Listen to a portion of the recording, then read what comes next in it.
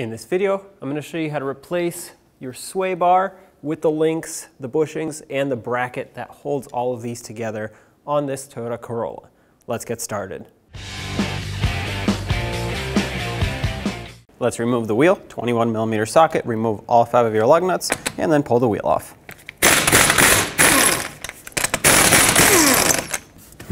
Take the wheel off.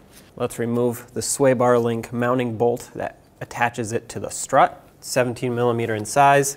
Now it might not come off directly, but I will give it a try. If not, then we'll just put some locking pliers on the backside and hold it.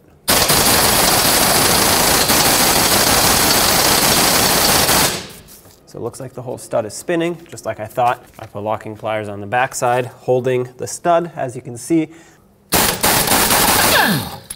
All right, looks like it worked. Let's release the locking pliers. Pull the sway bar link out. Now with that sway bar link off, follow the sway bar and you'll see this bracket that sits right on the subframe and it's held on with two 12 millimeter bolts. This is one of them. The other one is on the back side, which we'll get to in a minute, but let's take this one out first. Gonna put a 12 millimeter socket on here. I sprayed it with rust penetrant. Hopefully that will help remove this. There we go. This one wasn't very tight. Sometimes they're very tight and you'll have to work them back and forth and keep spraying them. And uh, I've even had them sometimes where they break, which is not great. Fixable, but not great. So hopefully yours goes smoothly. Go ahead and remove this all the way and then we'll move to the rear one.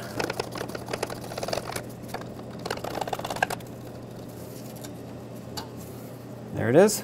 And if you look from underneath the car, you can see the rear bolt right there at the top of the subframe. It's hard to see, especially on camera. You can see it better in person, but there it is right there. Let's break it free and take it out of there. You gotta make sure that socket is really seated on there. You don't wanna strip anything out because that would cause a lot more work. Okay.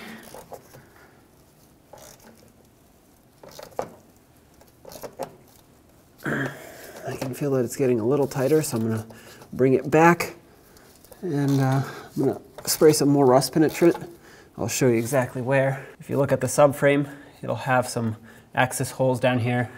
If you just peek through, uh, it's not gonna be very close because the bolt is here, the access hole is here, but you can stick some rust penetrant in there with a straw and spray down the bolt that pokes through the other side. Stick a flashlight in here so I can see what's happening. Okay, all right, let's go back out with it. Just work that rust penetrant into the threads.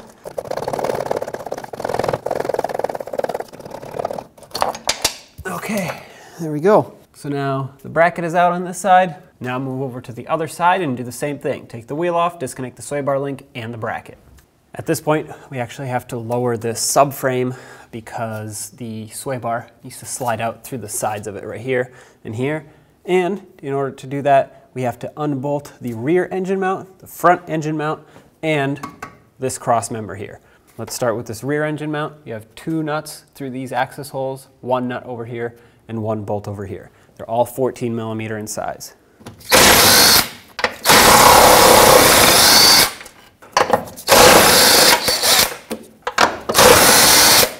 For this front mount, we have two bolts through these access holes. These are also 14 millimeter.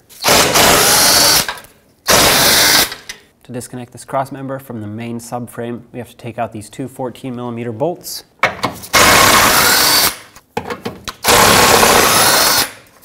And in the front, we have two more 14 millimeter bolts holding this cross member onto the lower radiator support. There's one. And two.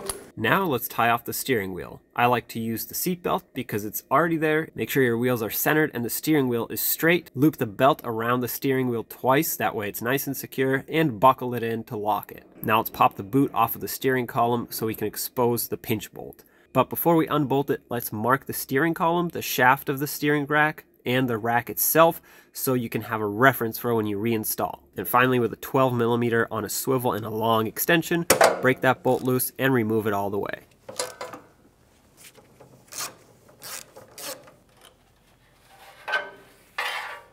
As you can see here, I'm trying to pry the steering shaft off the rack, but it's not going to work because it's not going to compress inside the vehicle unless you disconnect it there, which I'm not going to do because I don't want a second point to line up. So let's slightly lower the subframe and disconnect it that way. To unbolt this subframe, there are four main 19 millimeter bolts, one right here, one right here, which we have to go through the control arm to get, and the same thing on the other side. That's it, just four bolts. Don't touch these, which might look the same, but they're actually for the rear bushing of the control arm. You don't have to touch those. So one, two, three, four, and that's it. However, you have to support it, otherwise it'll just fall down, and that's not what we're going for. I'm using a transmission jack with this attachment that has the four pads on it. But if you're on the ground, you can very easily do this with a jack two jacks or some jack stands or anything that you have that will control the lowering of this subframe. We're not going very far, we're just loosening it up and slightly tilting it backwards. We're not actually removing it. Doesn't matter where you start, they're all 19 millimeter in size. I'm gonna start over here.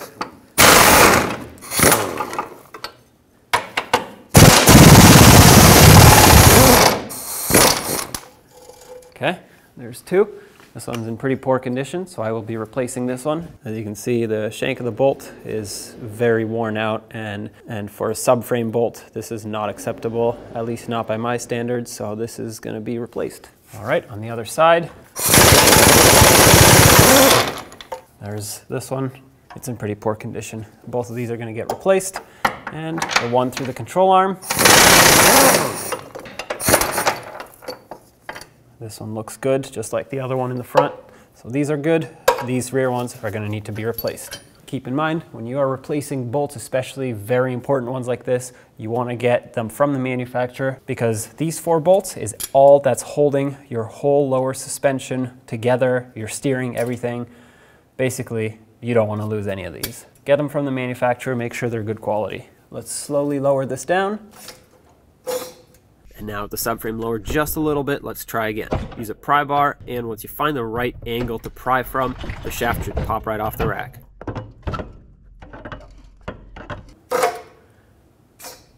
Perfect. This is about all we need. On the steering rack right here, with it disconnected, you'll see that there's a green mark here and a green mark on this notch. This is where the boot was clipped onto. And whether this is from the factory or someone else has been here before, this mark tells me that the rack is centered when these line up. Because that means for me, if I line up green with green and red with red, I know I'm centered. But if you don't have marks like these, of course you're gonna need an alignment after this anyway, so if you're one tooth off, it's gonna be okay. But preferably, you should be uh, lined up.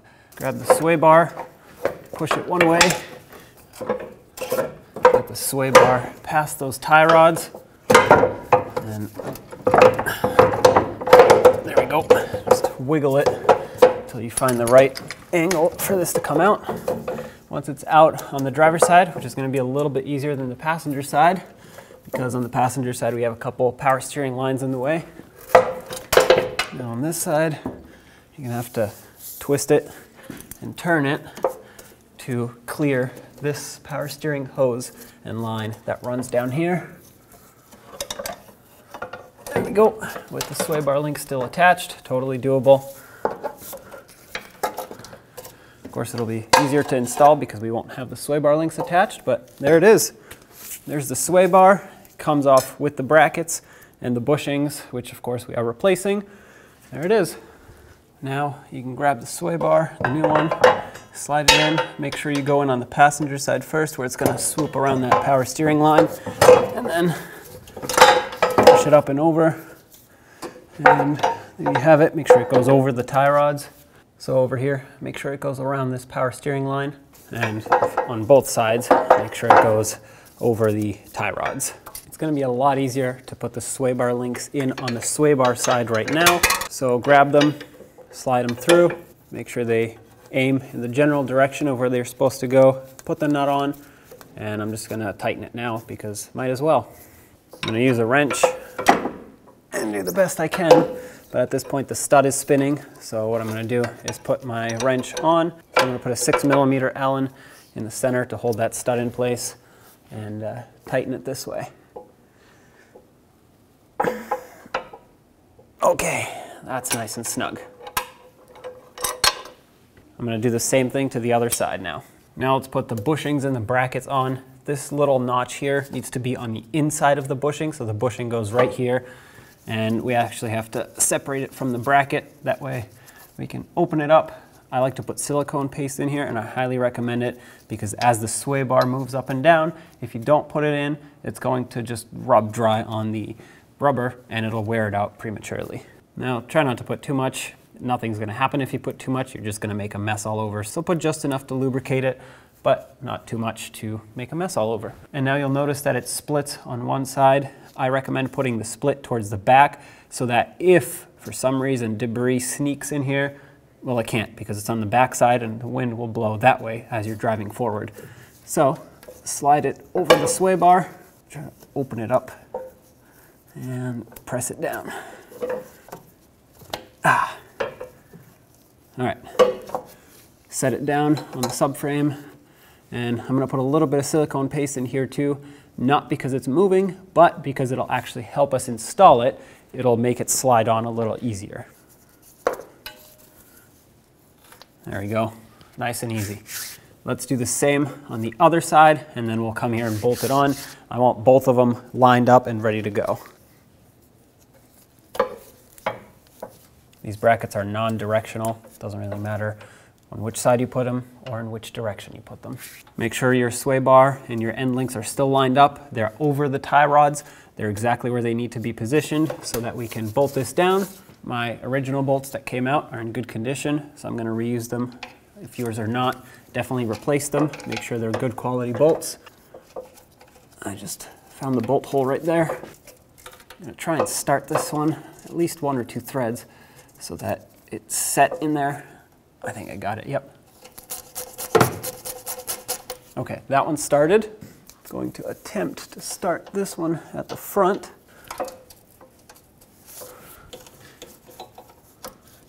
I have to loosen this one up. I tightened it too much and it pulled the bracket down. And if it does that, it'll actually pull it up in the front.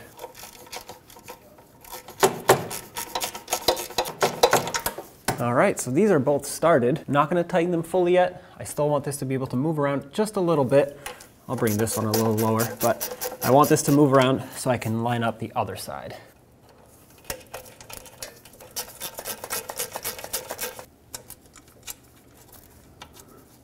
All right, I got all of them in. Just gonna tighten them up now.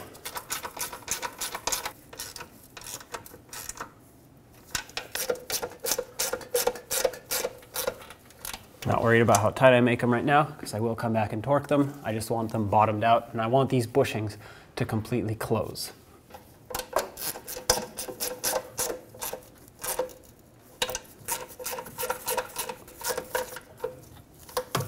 Let's torque them. 14 foot-pounds is the torque for this. Let's do the same to the other side. And if for some reason you can't torque them, 14 foot-pounds just means make it tight by hand, basically. It'll be perfectly fine. Time to go up with the subframe. As I lift it up, I'm gonna pay attention to the engine mount, that it goes in right where it should, that all the studs seat, as well as the steering shaft. I need to make sure that that lines up as I lift it up.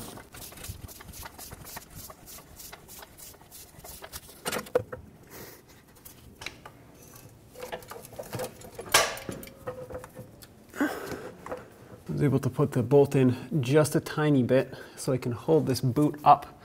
And uh, now to line it up, I'm just gonna try and push the tie rods to spin the steering rack just a tiny bit so that the splines can line up.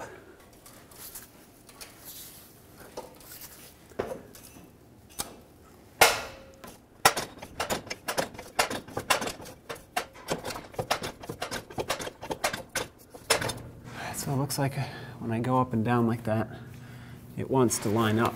It wants to slide in.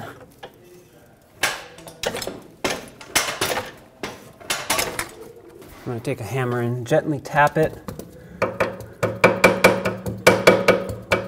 So hopefully the vibrations are gonna wanna bring it up into position.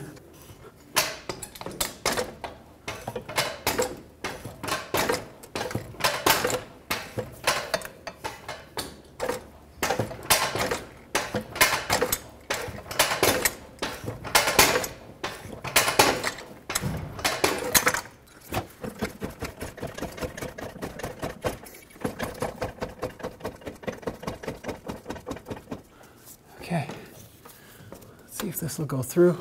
You know that the bolt is lined up. If it goes through, I think it just did.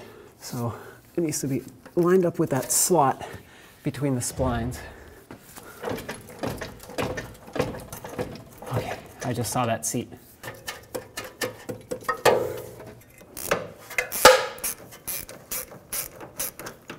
All right, it's going in. Let's pull that boot up and finish tightening it. Make sure that boot is out of the way. Oh, it's getting pinched. All right, there we go.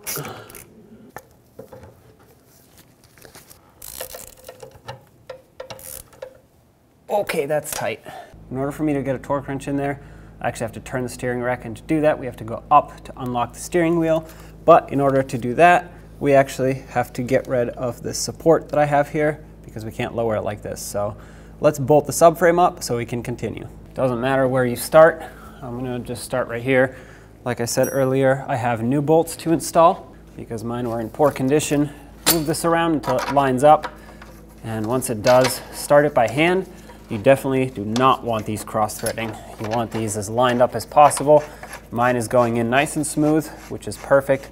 I'm gonna bring it in as much as I can by hand, but I'm not gonna tighten it right here. I'm gonna stop. I still want this to move around because I have three other ones to line up.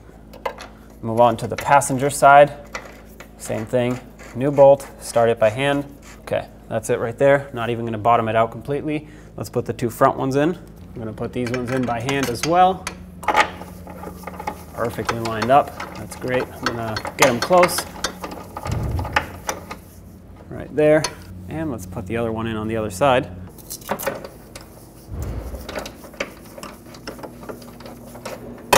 These two front bolts get torqued to 83 foot-pounds. That's it right there. And these rear ones get torqued to 116.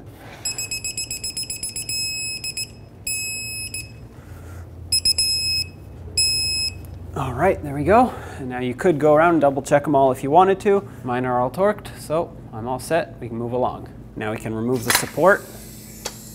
And now let's torque the steering shaft bolt to 26 foot-pounds. The boot is kind of in the way here. I turn the steering wheel so that the bolt of the shaft can face towards the wheel well so I can get my socket and extension on here so I can torque it. This is a 12 millimeter, 26 foot-pounds. All right, don't over tighten it. You don't want to snap it in there. And at this point, let's put the boot back. To do that, you just have to pull it down and make sure it hooks over those two tabs there.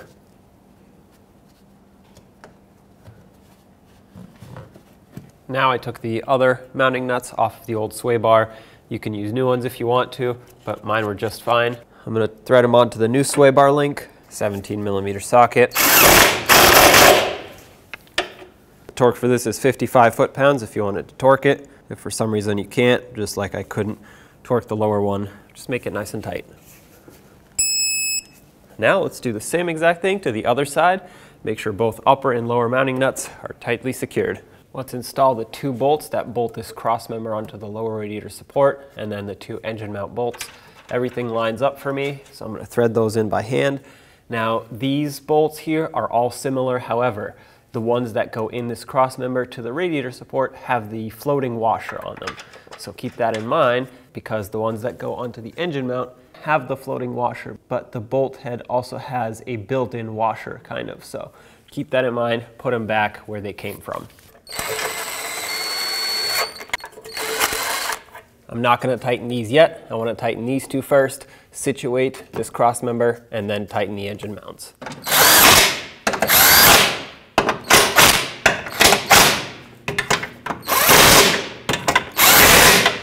Now let's torque all of these to 38 foot-pounds.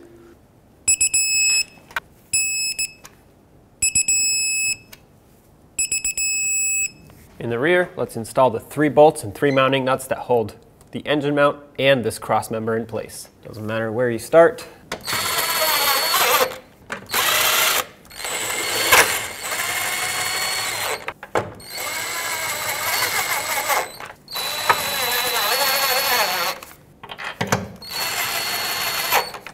right, they're all in. Let's snug them up, and all of these get torqued to 38 foot-pounds.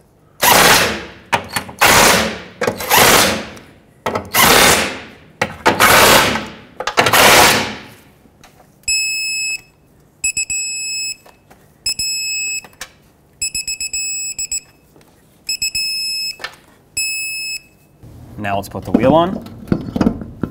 Put back all five of your lug nuts, bottom them out, and then torque them to 76 foot-pounds.